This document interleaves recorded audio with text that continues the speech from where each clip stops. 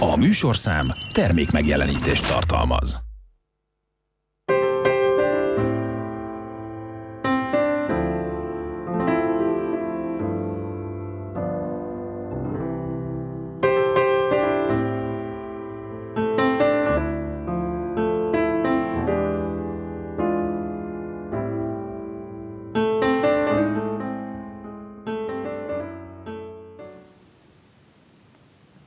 Szép estét kívánok, köszöntöm a Fehérvári Beszélgetések nézőit.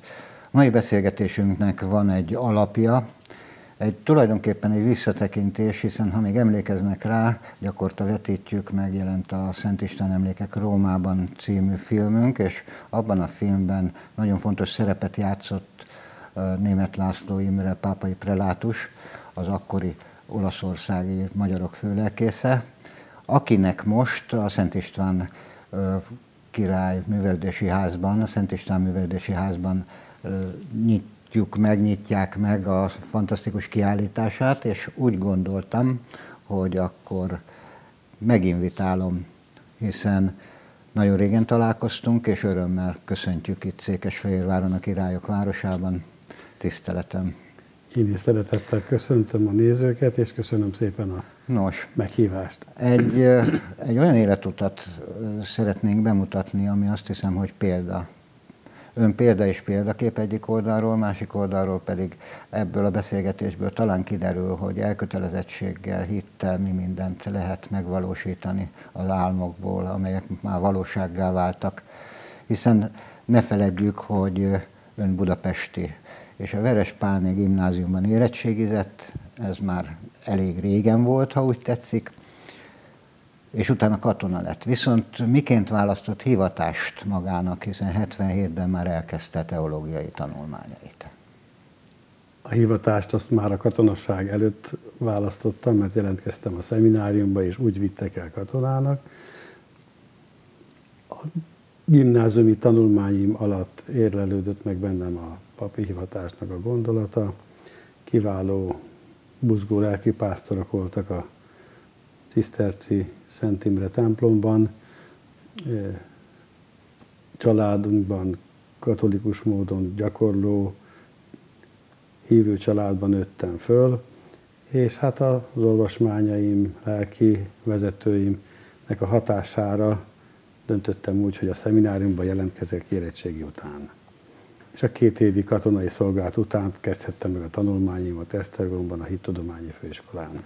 A Ciszterci Szent Imre templomról hirtelen eszembe jutott, hogy nemrégiben volt, köszöntöttük 90. születésnapján elődatját, aki ő is csupa szépet és jót, mélységesen emberit mesélt erről a, a templomról.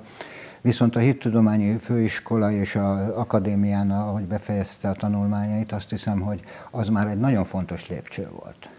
Igen, három év esztergomi tanulmányok után Pestre kerültem, és ott a papszentelés utáni évben doktori fokozatot is szereztem, akkor még a Hittudományi Akadémián, ami ma a Hittudományi Kara a Pázmány Péter Katolikus Egyetemnek.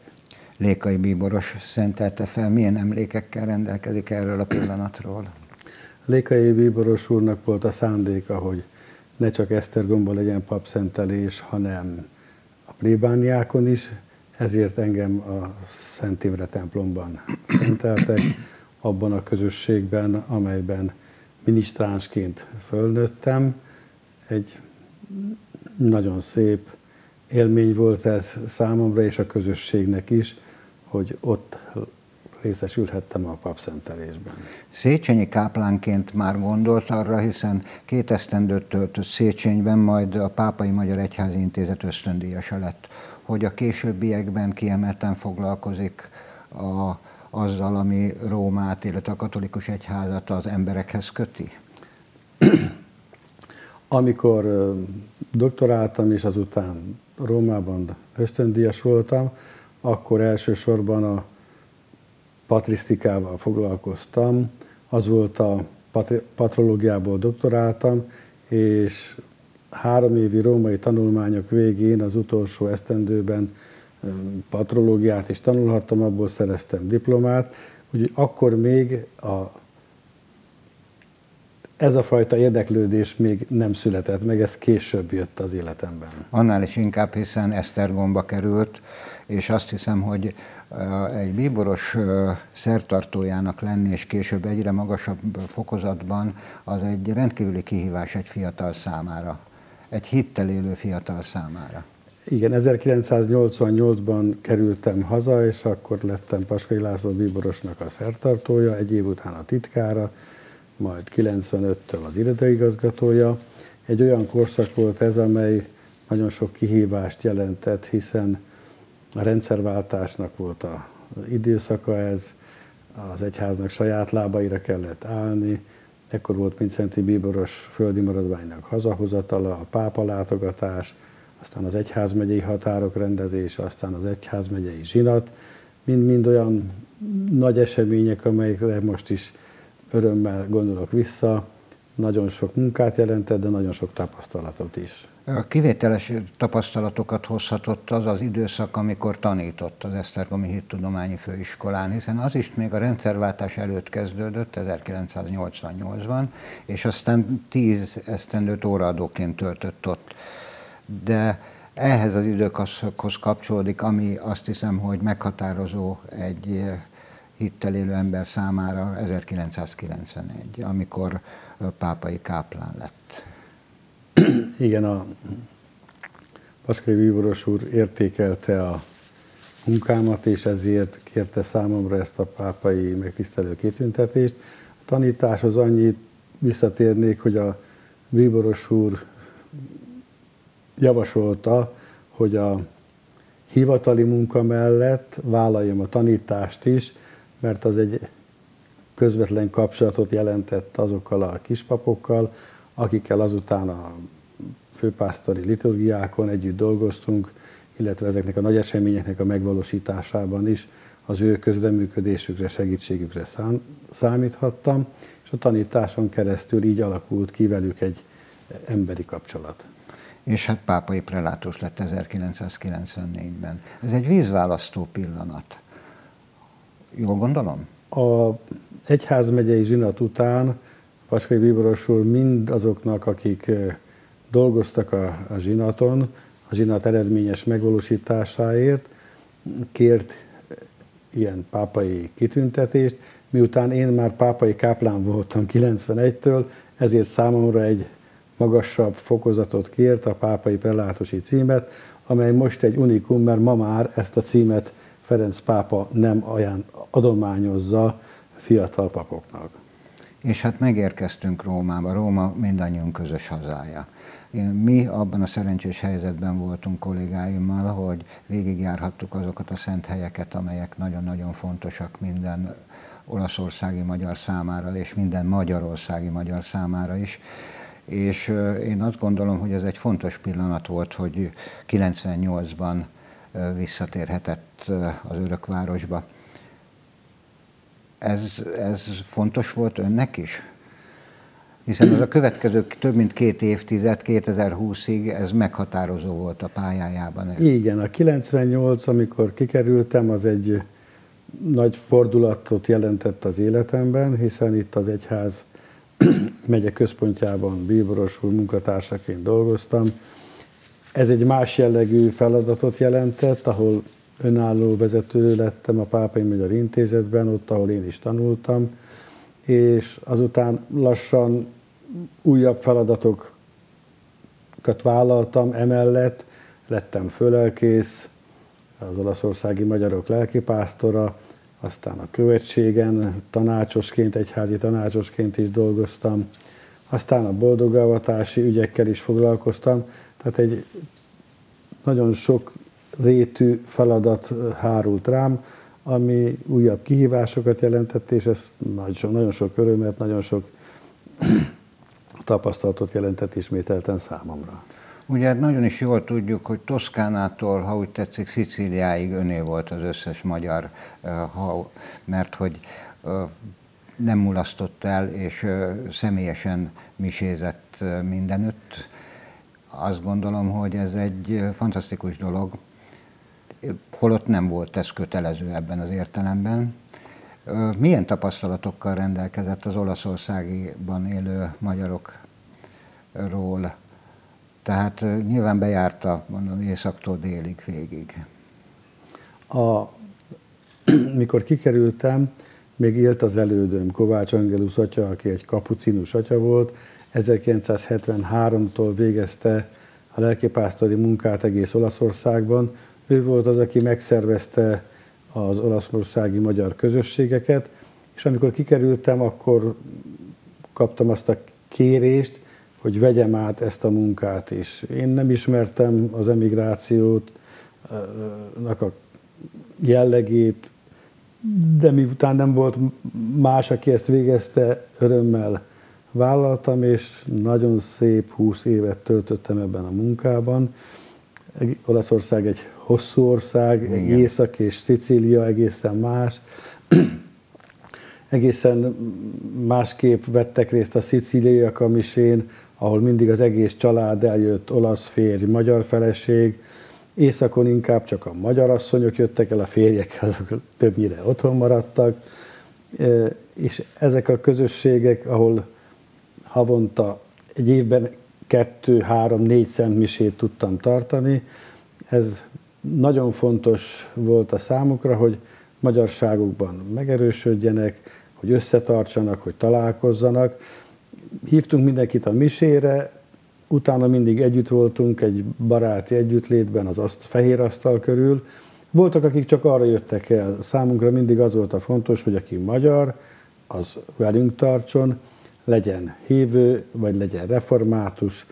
Nem tettünk különbséget, mindenkit szeretettel hívtunk, nyitott szívvel, és volt egy mottóm is, ami így hangzott, mindig annak örüljünk, aki eljött, és ne azért szomorkodjunk, aki nincsen ott. Tehát egy közösségkovácsoló erő volt a hit mindenképpen. Így van. És nagyon-nagyon fontos. Szent István ház. Nagyon kevesen bár én azt mondom, azon szerencsések közé tartozom, akik élhettünk a Szent István házban, és amikor igazgató lett, mennyit kellett változnia mármint a háznak, hiszen azt tudjuk, hogy a hittel élők, Rómába látogatók gyakorta megfordultak ott. 2011-ben kerültem a Szent István házba, akkor még ott kedves nővérek dolgoztak, akik azonban egy rövid időn után elköszöntek, mert már nem tudták tovább végezni ezt a feladatot, és civil munkatársakat kellett keresni, és hát az idő után arra is szükség volt, hogy a, ahhoz, hogy a ház működési engedélyt kapjon, hogy ne csak ideglenesen, évről évre meghosszabbítva működhessen, az olasz előírások szerint a felújítást is el kellett kezdeni, mire, mikor elköszöntem Rómából, addigra a ház teljesen megújult. Igen, volt alkalmunk megnézni, én azt gondolom, hogy ez egy fantasztikus élmény kívülállóként is, mint ahogy az is fontos számunkra, hogy a Szent István Alapítvány működését is koordinálta vezetőként, ami szintén fontos szerepet játszik Rómában, illetve az olaszországi magyaroknak. A Szent István Alapítványt azért hozták létre, hogy fölépítse a Szent István zarándokházat, amely Mincenti Bíboros úrnak volt az álma, hogy legyen újra egy magyar zarándokház Rómában, ahelyett, amit lebontottak a Szent Péter Bazilika közelében, és ez az alapítvány volt a tulajdonosa a Szent István háznak, míg végül is a felújítás után a házat a püspöki kar vette át. Milyen feladata volt, amikor, hiszen több mint egy évtizedig volt a katolikus püspöki konferencia római ágense. Ez egy, én azt gondolom, hogy egy fajsós megbízatás mindenképpen. A történelem során a püspökök római ágensének sok-sok szerepe volt, feladata volt. Régebben sokkal több, mint manapság, hiszen főleg akkor volt nagyobb szerepe az ágensnek, amikor nem volt pápai nuncius Magyarországon. Mióta újra van pápai nuncius, a ágens, a, a Pápai Magyar Intézet mindenkori rektora, a egyes püspökök megbízásából, fölkérésére intéz, intézi a püspöki karnak az ügyeit. Az én számomra az egyik ilyen legfontosabb nagy élmény volt, amikor 2000-ben a nagy jubileumra kaptam a megbízást, hogy a Magyar Nemzeti Zarándoklatot szervezzem meg. Mint ahogy rendkívül fontos az is, hogy 2004-től a Szentpéter Bazilika magyar kápolnájában is misézhettünk, illetve a magyarok meglátogathatták. Azt hiszem, hogy ez a Rómában élő magyar híveknek és minden látogatónak egy, egy kivételes élmény egyik oldalról, legyen az hittel élő vagy sem. Igen, a pár évi római tartózkodás után a római magyar papokkal együtt találtuk ki azt, hogy minden héten legyen egy Szent Mise fix időpontban a Magyar Kápolnában, hogy akik jönnek Rómába és a szerdai napon a pápai kihallgatáson Szentatyával akarnak találkozni, előtte való napon, kedden a Magyar Kápolnában Szentmisén is részt vehessenek. Magyar kápolnában szentmisén részt venni az egy sajátos, különleges élmény. A seregi érsek úrnak a mondása jut eszembe, aki azt mondta, hogy aki oda a kápolnába belép, az Szent Istvánt nem tudja kikerülni, mert hát ott áll a bejáratnál a lépcsőn, hogy mindjárt emlékezteti a oda érkező magyarokat, hogy Szent István volt az, aki az első kápolnát a Szent Péter Bazilika között létrehozta a magyaroknak, ez a kápolna ennek a hagyományát folytatja, és 2004 óta minden kedden miséztünk, miséztem a kápolnában, illetve jöttek oda püspökatyák is, papok, szerzetesek, azok is velem együtt miséztek, vagy én miséztem velük. Nagyon sok szép lelki élményben volt részünk. Mindig imádkozunk, misézünk ebben a kápolnában, hogyha meghal egy magyar püspökatya, vagy ha egy boldogávatás van, akkor arról ott megemlékezünk. Egészen sajátos légköre van a kápolnának, ott Szent Péter sírja közelében. Igen, ha még ehhez hozzátesszük, hogy országos, mármint Olaszországi országos zarándokutakat szervezett újfent mondom, hogy Szicíliától Észak-Olaszországig, akkor nehezen tudom elképzelni, hogy miként és hogyan jutott ideje a tudományos munkára. Hiszen meg annyi olyan tudományos munkája van, fordításoktól kezdve, ami azt hiszem, hogy ha úgy tetszik, teljes embert kíván. Előbb mondtam, hogy én patrológiából doktoráltam, meg az, azt tanultam Rómában is, de amikor kikerültem, és magyar lelkészi megbizatást kaptam, akkor jött a fölkérés, hogy a emigráció történetét, a helyi emigráció történetét dolgozzuk fel, gyűjtsük össze az anyagokat, és így kezdtem el foglalkozni a római magyar közösség lelkipásztori ellátásának történetével, aztán az egyes közösségek történetével, és lassan-lassan ez úgy belesodort abba, hogy ezzel foglalkozzam, rájöttem arra, hogy ha ezt én nem csinálom meg, aki ott élek, akik össze tudom még gyűjteni idősektől az információkat, adatokat, emlékeket, akkor ezt rajtam kívül senki más nem csinálja meg. És aztán hát a munka mellett ez volt a szórakozás, hogy ilyen tanulmányokat De ez nagy, nagy érdeklődés kísérte, hiszen az utolsó kettő magyarokról Itáliában 1924-2014, ez ugye 2020-ban, és a Szétszórva egységbe Magyarok Itáliában című kötetről például egy kortársa úgy fogalmazott, hogy német László Imre atya könyve tanúságtétel arról, hogyan kell idekint történelmi örökségünkkel bánni, hogyan kell azt megbecsülni és továbbadni. Én azt gondolom, hogy ezek az elismerő szavak igazából egyrészt fedik a valóságot, másrészt azonban még mindig kevesek ahhoz, hogy mi mindent köszönhetünk, mi itthon élő magyarok a, a, abból, hogy ön megismertette velünk Rómát. És ezt nem természetesen mások is látták, hiszen ön az olasz köztársaság lovagja, külföldi magyarokért érdemérem, és hát a Magyar Köztársaság érdemrend lovakkeresztje kitüntetésben is részesült.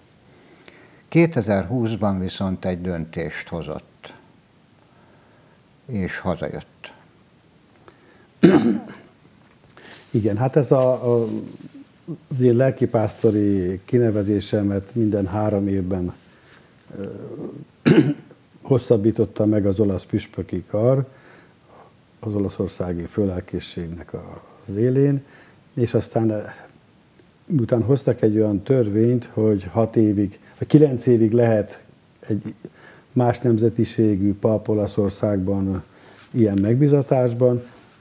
Én már régen túl voltam ezen a kilenc éven, és aztán a 2020-ban a főpásztorom úgy döntött, hogy jöjjek haza, és akkor kerültem haza 20-22 év római tartózkodás után Magyarországra. Pátyra.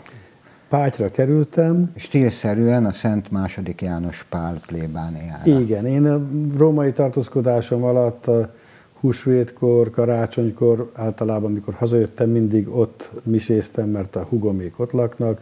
Ott nincsen plébános, a plébánosnak öt temploma van, és én ez alatt az id- húsvét karácsonykor mindig segítettem neki, és ezért, mikor hazajöttem, akkor azt kértem, hogy oda kerülhessek.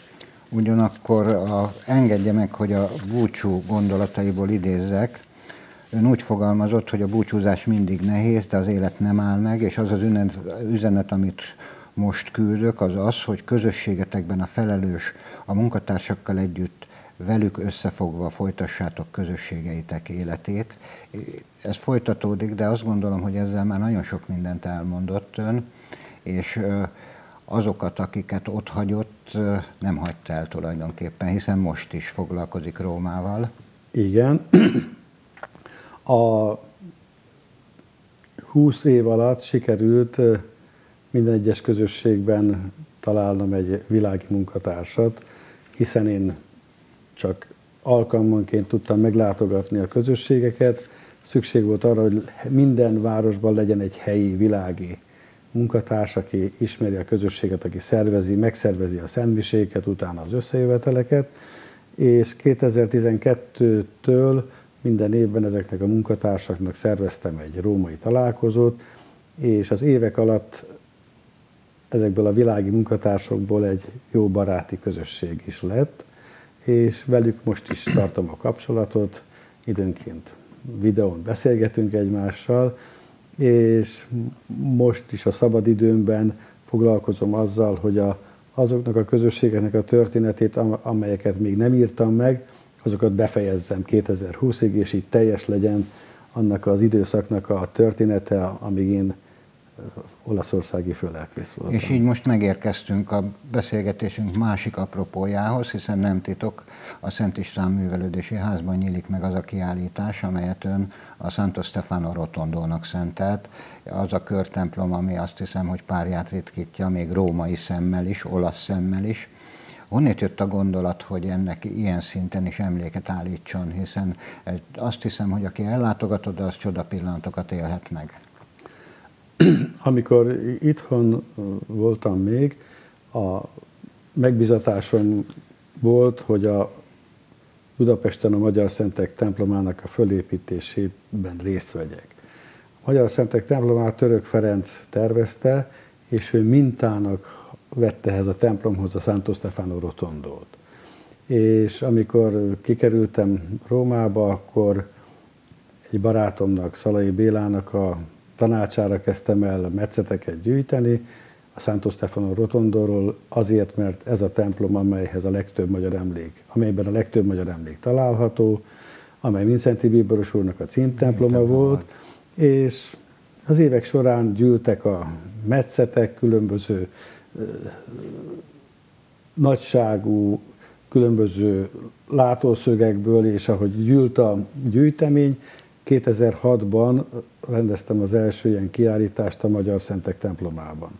Aztán gyarapodott a gyűjtemény, hazakerültem, és úgy gondoltam, hogy nem kéne ezt a gyűjteményt a fiókban tartani, vagy arról gondoskodni, hogy majd, ha meghalok, akkor hova kerül ez a gyűjtemény, hanem be kell most mutatni. És akkor ezért írtam róla, elkészítettem a könyvet, Szalai Béla barátom is, aki nagy metszet szakértő, biztatott erre, és amikor a könyvanyaga összeállt, akkor felajánlottam Spányi Püspök úrnak, hogy csináljunk a metszetekből egy kiállítást itt Székesfehérváron, hiszen itt volt a film, amiről már volt szó, tehát volt egy ilyen kötődés sem Fehérvárhoz, és hát a Székesfehérvár Egyházmegye területén élek ugye Pátyon, és hát így jött a gondolat, a Püspök úr örömmel elfogadta ezt a felajánlást, és így jött létre ez a kiállítás. Nos, hát kedves nézőink, azért mondom önöknek, hogy ha tehetik, akkor mindenképpen látogassanak el a Szent István művházba, ez érdekes és érdemes. Atyám, mit kívánhatok önnek? Mit kívánhatunk önnek?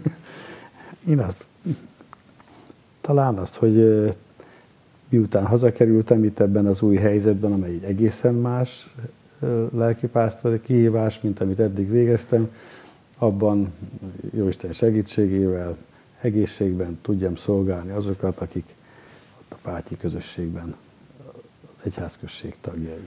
Történjék, így nincs kétségem felőle, hogy ez így lesz. Köszönöm szépen, hogy megtisztelt. Én is köszönöm szépen a beszélgetést. Kedves nézőink, önök pedig kérem ne feledjék, bár itt a Fehérvár televízióban, illetve a Duna televízióban is láthatják majd a kiállításról szóló beszámolónkat, de ha tehetik, akkor látogassanak el a Szent István Művelődési Házban, érdemes higgyenek nekünk. Én pedig köszönöm megtisztelő figyelmüket, találkozunk legközelebb ugyanitt, viszontlátásra!